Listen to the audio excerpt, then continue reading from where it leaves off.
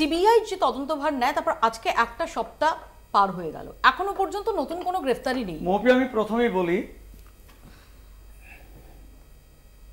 যে প্রথম থেকে আমরা যেটা দেখে আসছি এই ঘটনাটা, এটা প্রত্যেককে অনুভব করতে হবে যে আমাদের পরিবারের কন্যা সন্তান আছে, স্ত্রী আছে, মা আছে।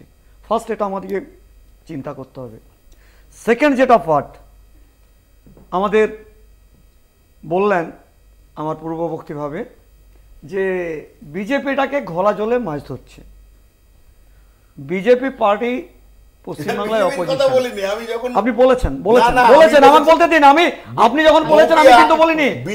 আমি যখন আপনি বলেছেন আমি কিন্তু বলিনি আমার কথা শুনতে হবে। আমি বলেছি যখন এরপরে দ্বিতীয় কথা হচ্ছে মৌপিয়া যে কথাটা হচ্ছে যে পাঁচ সাত দিন পরে আমাদের পশ্চিমবাংলার মুখ্যমন্ত্রী বলছেন তিনি বিবৃতি দিচ্ছেন যখন দেখছেন যে চতুর্দিক থেকে অক্টোপাসের মতন তিনি ফেসে গেছেন, চতুর্দিকে অক্টোপাসের মতন জড়িয়ে গেছেন, এখানে বিভিন্ন এভিডেন্সগুলোকে টেম্পারিং করা হচ্ছে, আজকে বাথরুম ভেঙে দেওয়া হচ্ছে, আজকে এখানে যে কাজ করছ স্বাস্থ্য দপ্তরের প্রাক্তন আমাদের আক্তার আলী ডেপুটি সুপার তিনি নিজে বলছেন, কি করেছেন, না করেছেন এই সন্দীপ ঘোষ, একজন মৃত দেহ তার লাশ তার থেকে শরীর থেকে বিভিন্ন অঙ্গগুলোকে বেঁচে দেওয়া।